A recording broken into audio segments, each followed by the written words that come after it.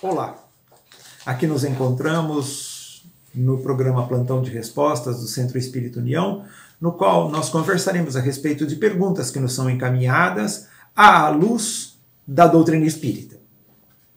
Quais são os desafios na época de transição planetária? A transição planetária, a tão propalada transição planetária. Tudo que Deus cria é destinado ao progresso tudo que Deus cria é destinado à perfeição. Então, o nosso planeta, ele está evoluindo como tudo evolui no universo. O universo não para nunca. E Deus não para. Mas assim, todo processo evolutivo, ele é um feito coletivo. Os planetas são chamados planetas primitivos, planetas de prova e expiação, planetas regeneradores e moradas felizes, planetas felizes. E esse processo evolutivo que se dá na Terra atualmente é porque o homem já tem a condição intelectiva de ter responsabilidade pelos seus atos, apesar de não levar isso muito a sério, né? Então, assim, a Terra nesse momento, ela ainda é um planeta de dor, ela ainda é um planeta de seres ainda tidos como imperfeitos. E quando a gente procura lá no livro dos Espíritos, o que é um ser imperfeito é aquele ser que ainda se compraz com o mal. E as pessoas dizem o seguinte assim: "Puxa, João, isso é muito feio. Eu não tenho esse tipo de tendência de me comprazer com o mal". A pergunta é: o que é o mal? O mal é querer o bem só para nós. O mal é o egoísmo, o orgulho e a ignorância. E isso ainda caracteriza a nossa população na Terra. Nós ainda somos espíritos ignorantes da verdade. Nós ainda somos espíritos que nos colocamos primeiro eu, segundo eu, terceiro eu. E se sobrar alguma condição, aí sobra para os outros. Mas vamos falar da seguinte maneira: a nossa responsabilidade, essa que foi a pergunta, qual é o nosso desafio nesse momento? O nosso desafio nesse momento é o processo educativo. E o que é educar? É formar bons hábitos.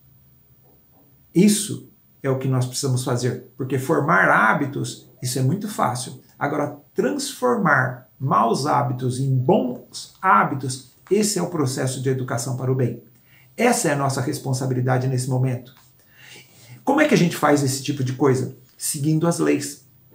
A lei, a lei dos homens? Não as leis morais, chamadas leis divinas.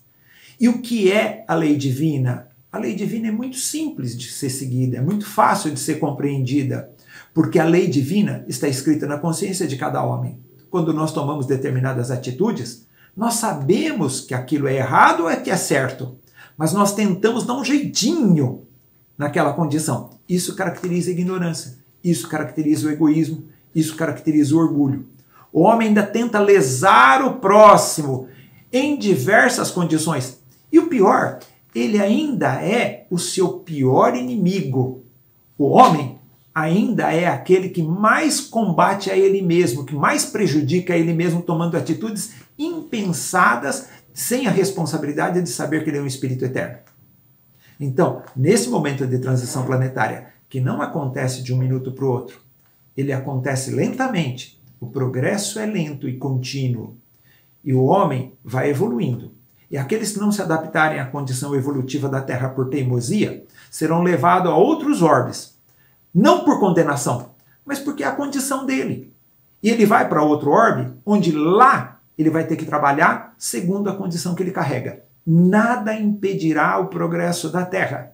E nós observamos atualmente na Terra que a grande dificuldade é a dificuldade moral. E que nós temos então a necessidade, já que nós temos a intelectividade, de compreender que nesse momento nós devemos nos tratar a duros golpes de disciplina para que possamos implantar dentro de nós bons hábitos. E é essa a nossa condição, nosso maior desafio nesse momento, para que a Terra estabeleça um processo de mundo regenerador, nós temos muito tempo. Nós temos mil anos. Não é em anos 2000 que a Terra passou de um planeta de prova e expiação para um planeta regenerador, dá para entender, dá para ver, dá para compreender? Só olhar para o mundo, o quanto ainda de ignorância, o quanto de egoísmo, o quanto de orgulho existe na Terra. Que um planeta de prova e expiação é essa, essa é a característica. Já um planeta regenerador, a igualdade, o bem se sobrepõe ao respeito, à equidade em todos aqueles que ali habitam. Então, isso nós ainda estamos longe do amar ao próximo como a nós mesmos. A lei é simples. Vamos segui-la. Como entender as questões 688 e 689 do Livro dos Espíritos, que falam sobre a extinção de raças que hoje vivem na Terra? Ah, sim. Nós ainda raciocinamos tudo de imediato, né? Vai acabar, vai destruir a extinção de raças. Essa é a pergunta que foi feita ao Espírito da Verdade, à sua equipe.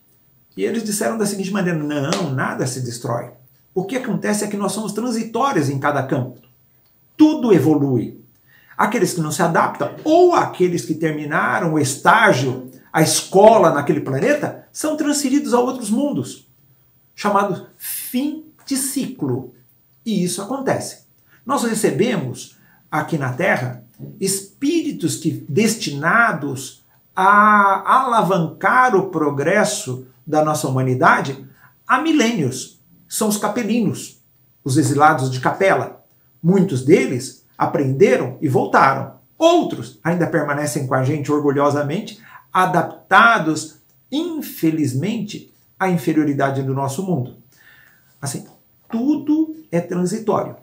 Então, quando acaba uma nação, acaba um determinado grupo, uma determinada raça, não é que ela foi destruída e acabou e pronto. Não, ela foi simplesmente transferida para outro local. O que acabou foram os corpos, a parte material. O espírito é eterno, ele não acaba nunca. Então a gente não precisa viver com medo, com preocupação de que vai haver uma, um expurgo e que vai acontecer uh, a destruição daqueles tidos como espíritos inferiores renitentes, os chamados espíritos maus, já que nós não somos bons, cuidado conosco também, né? Talvez nós sejamos é, encaminhados nesse expurgo. Por isso, nós devemos fazer um esforço muito grande para que não entremos nesse momento. Mas não nos esqueçamos, a misericórdia divina está sempre presente. Então, nós tenhamos paz no coração ao saber que essas imigrações para outros locais vão para trabalho. Assim como receberemos imigrações de espíritos a substituir aqueles que daqui saíram, que terminaram seu estágio ou não se adaptaram, mas que vão para outros mundos, sem destruição, sem morte. A morte não existe. A vida é eterna. Mas mesmo os espíritos mais rudes e perversos não desaparecerão? Ah, não, não, não, não. Tudo é transitório. Infelizmente, espíritos há que se comprazem com o mal a longo prazo por teimosia. Isso a gente conhece, muita gente teimosa, né? Então é assim. E, e não dão braço a torcer, apesar de saber que estão errados, que estão no caminho indevido. Então há espíritos inferiores, chamados espíritos maus, e até recebem determinados nomes infelizes, pela sua teimosia, pela sua renitência no mal a longo prazo, esses espíritos também evoluirão. Há momentos em que a misericórdia divina, pela dor, seja a dor que vem de fora, a dor imposta, ou seja, a dor que existe dentro da gente, porque o, nós falamos, o homem tem consciência da lei de Deus. Perguntado ao Espírito da Verdade, onde está escrita a lei de Deus? o, lá no livro dos Espíritos, eles nos dizem, está escrita na consciência dos homens. Esses espíritos, tidos como perversos, como maus, eles têm consciência da lei de Deus. Num determinado momento, eles vão se transformar, eles vão evoluir. Há pessoas que dizem assim: olha, então esses espíritos mais perversos, aqueles espíritos demoníacos, eles vão evoluir? Sim, tudo é transitório. Nada vai permanecer aqui dessa condição. E se eles não melhorarem aqui, eles serão levados a outros planetas onde eles vão trabalhar, onde eles vão, infelizmente, pelo impulsionar da dor, aprender que eles são espíritos destinados ao progresso, à pureza. Jesus foi muito claro. Vós sois deuses, vós são seres capazes de produzir coisas maravilhosas, não são destinados à paralisação. Deus há de arrumar sempre um mecanismo para que esses espíritos também evoluam. Então, até o inferno deixará de existir na Terra evoluída? Ah, sim, sim, sim. Se tudo é destinado ao progresso, o inferno, como é colocado, ele é uma criação coletiva também, como nós somos aqui. E ele é transitório, ele não existe como estrutura, ele não foi criado por Deus, isso é uma criação da humanidade terrestre. E essa se é uma criação coletiva, ele vai desaparecer.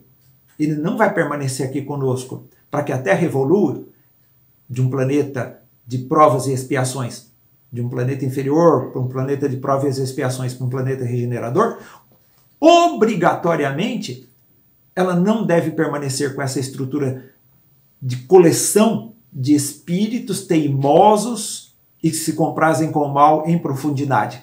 Eles serão levados para fora e a Terra evoluirá apesar de tudo. Sabemos que somos espíritos milenares, mas pergunto: Deus continua a criar novos espíritos? Ah, sim! Jesus foi muito claro. Meu pai trabalha até hoje, por que, que, não, que eu não vou trabalhar, né? Quando perguntado a respeito do sábado. A ciência mostra que o universo se encontra em expansão, que tudo é transformação, que tudo é renovação e que Deus cria espíritos constantemente. Nós somos espíritos criados há muito tempo. Nós somos espíritos velhos. Quando perguntado para nós quantos anos o senhor tem, eu falo, ah, eu tenho X anos. Eu tenho X anos nessa existência. Sou um espírito velho pra caramba, como todo mundo é aqui na Terra. Raros, raros espíritos primitivos, é, ou ainda em condição primária, se encontram conosco aqui. Mas eles já são espíritos que evoluíram muito, porque eles já ganharam um grau de consciência, eles já têm habilidades. Então, assim, Deus cria, cria constantemente e dá oportunidade a todos nós. Ele não para e nós somos convidados à cocriação. Nós temos condição espiritual de participar da criação divina, da educação daqueles que nos, no, no, nos são submetidos à vontade. E Emmanuel diz assim: que cada célula do nosso corpo é uma individualidade e que nós somos um condomínio espiritual. Nós temos uma responsabilidade extremamente grande na cocriação, mas infelizmente essa informação ainda não chega a todos, mas a nós, que nos foi dado o conhecimento da doutrina espírita, nós temos responsabilidade com o ambiente que nos cerca. Porque o, o nosso Francisco de Assis, ele dizia que tudo é criação divina, que tudo aquilo que existe na natureza são os nossos irmãos. Então ele chamava irmão Sol, irmão Vento, irmão Lua, irmã Terra. Então ele sabia que aquilo era criação divina, que ali havia espíritos em incubação. E nós somos responsáveis por isso. A criação divina não para, tenhamos certeza disso. O que é o magnetismo? Ah, dentro dessa, dessa criação divina, nós temos algumas coisas extremamente importantes, que são as energias. A matéria, ela é uma ilusão. A equação de Einstein, que diz que matéria é energia coagulada a uma determinada velocidade, é a grande realidade do universo. E toda essa matéria que nós nos tocamos, ela é transitória e ela é energia em movimento. E tudo que se movimenta determina um campo magnético ao seu derredor. E esse campo magnético, ele pode ser maior ou menor. Ele pode ter uma intensidade, uma energia diferente para cada um de nós. E tem. Esse campo magnético, ele tem a capacidade de influenciar a energia do ambiente, como nós dissemos que a transição planetária é uma, uma realização coletiva, porque a energia do ambiente depende depende da vibração magnética de cada um de nós. E essa vibração magnética, ela é curativa ou ela é deletéria? Ela é de um padrão maior ou menor para cada um dos indivíduos? Nós temos na lei, nas leis físicas as chamadas quatro forças, que é a, a gravitação, o magnetismo, a lei a força nuclear fraca, que são a circulação dos elétrons em torno do núcleo dos átomos, e a for força nuclear forte, que é a estrutura interna do núcleo atômico. Mas a doutrina espírita vem, através do conhecimento da ciência espírita, falar de uma quinta força extremamente importante, que é o pensamento. E esse pensamento determina a movimentação, a coagulação de energia na forma de matéria, a cocriação, a capacidade do homem de produzir no ambiente. E nós podemos, através do magnetismo, influenciar não só a parte material, mas influenciar a parte emocional, o campo mental de cada uma das pessoas. Existem indivíduos que são magnetizadores de grandes populações. Existem indivíduos que são capazes de conduzir e transformar populações inteiras, seja para o aspecto negativo ou aspecto positivo, segundo a polarização que nós fazemos. E essa energia, chamada magnetismo, ela pode ser transferida a outras pessoas, e é transferida, porque nós sabemos que nós podemos influenciar pelo nosso pensamento, que determina um impulso magnético que vai transformar os potenciais magnéticos dos outros. Não pode se falar de doutrina espírita, não pode se falar de passe sem o conhecimento do magnetismo, sem a transferência dessa energia que parte do pensamento, impulsionando essa condição mento-magnética que nós carregamos a determinar transformações no ambiente e nas pessoas que nos cercam. O que o magnetismo difere de pessoa para pessoa? Então, o magnetismo ele difere segundo o comportamento de cada pessoa, segundo a intenção dela, segundo a capacidade de pensar que ela tem. O magnetismo ele não está ligado à moralidade, infelizmente. Uh, Emmanuel diz assim: é, se nós tivéssemos consciência dos poderes que carregamos, nós destruiríamos a terra com os poderes que nós carregamos, com a moralidade que nós temos nesse momento. Jesus também colocou: o homem, vocês poderão fazer tudo aquilo que eu faço, que vocês chamam de prodígios, e muito mais, porque vocês são capacitados para tanto. Mas graças a Deus, esse conhecimento ainda não, não nos é dado.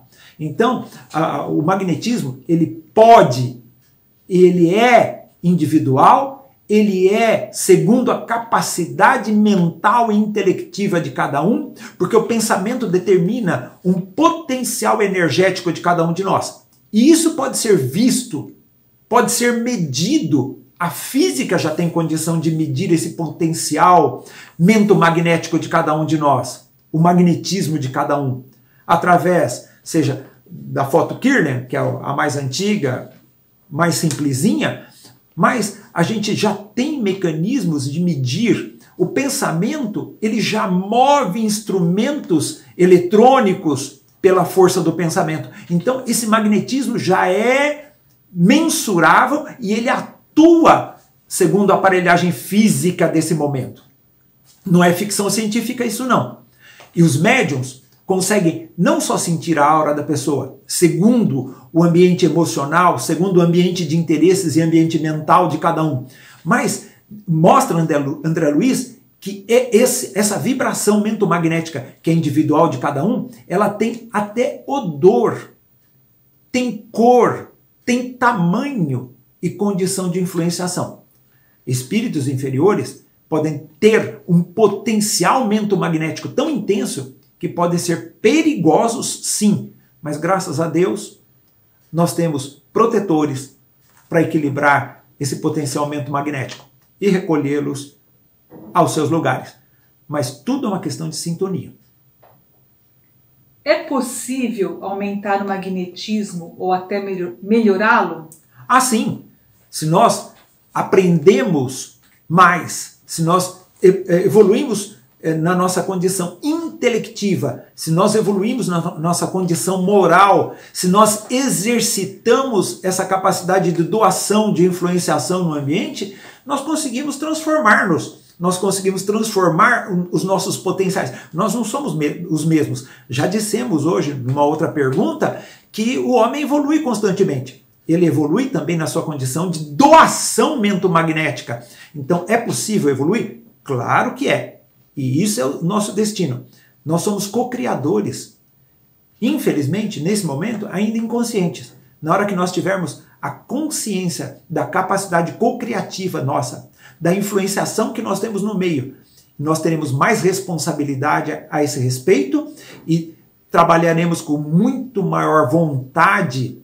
Aliás, se tudo é determinado pelo pensamento, nós sabemos que essa emissão do pensamento ela é potencializada pela vontade, o homem, sim, vai evoluir de acordo com seu conhecimento, sim. E quanto mais ele estudar, quanto mais ele se preparar, quanto mais ele exercitar, quanto mais ele fizer, mais ele vai evoluir.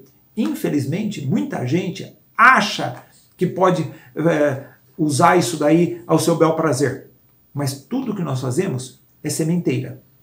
A sementeira é facultativa. Mas cuidado, a colheita é obrigatória. Há pessoas que manipulam pelos seus potenciais ah, ah, mento magnético os outros, enganam, alteram o comportamento das pessoas, porque o potencialmente magnético também é carreado pela fala. E aí eles tumultuam mentes, atrasam o progresso, então eles são responsáveis por isso. Não nos esqueçamos: tudo que nós semearmos, também colheremos. O que dizer sobre o preocupante e até temido animismo nas comunicações mediúnicas? Animismo é alguma coisa é, temida, é a manifestação do próprio espírito na comunicação mediúnica. Isso é inegável na nossa condição evolutiva atual, na nossa situação de progresso espiritual que ainda temos o Chico, assim, para orientar as pessoas e sempre naquela maneira muito delicada de ensinar, ele dizia assim, humildemente: ah, tudo que existe de bom na, na obra da qual eu participei e que leva o meu nome junto com de outros espíritos, deve-se à participação a criação desses seres que se comunicaram por mim. Mas se existe alguma coisa de indevido ali, isso deve à minha pessoa e não a eles. Ou seja, o que ele queria dizer? Que todo médium interfere na comunicação mediúnica. Isso não tem jeito. O médium mais perfeito é aquele que menos interfere na comunicação mediúnica, porque nós somos individualidades da qual a espiritualidade se utiliza para comunicar-se com o ambiente dos encarnados. Existe mediunidade também no plano espiritual. Mas o que a gente vai falar é assim: o homem interfere na comunicação mediúnica, mas o médium ele precisa ser vigilante, ele precisa estudar, ele precisa prestar atenção na comunicação mediúnica que ele dá. No começo dos trabalhos mediúnicos, essa interferência do próprio espírito do médium comunicante na comunicação é algo muito claro e isso causa dúvida, causa insegurança. Cabe aos dirigentes orientá-los para que eles não morram, não feneçam em sua vontade de trabalhar, não criem insegurança. Cabe aos dirigentes alertá-los a respeito disso com delicadeza. Mas cabe ao médium a responsabilidade de melhorar-se, de vigiar-se, de executar com coragem aquilo que ele veio fazer. Ele foi preparado para isso.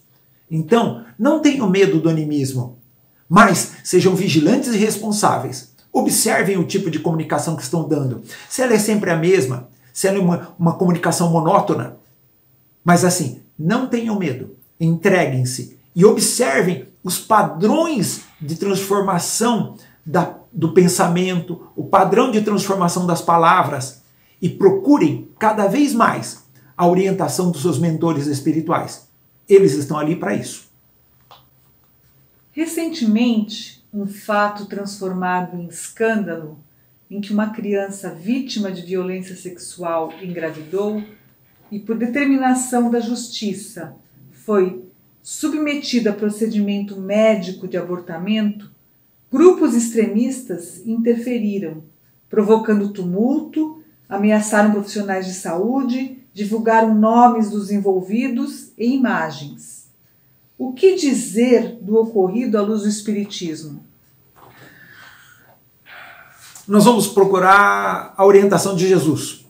Muitas dessas pessoas que fizeram esse tumulto e ainda estão fazendo, dizem-se cristãos, dizem-se a favor da justiça e da moralidade.